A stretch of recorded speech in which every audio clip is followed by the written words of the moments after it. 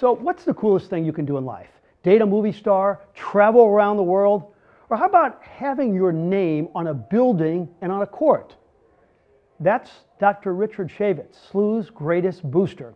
He is so pumped up about the Billikens this season. Tonight, I asked him, what's it like seeing his name on the arena?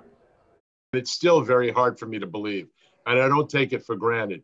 And, you know, when I walk in and the fans cheer for me or people you know, come over and talk to me. It feels good. I mean, I love that they recognize my passion and commitment and appreciate um, what I've done to help the school and the city.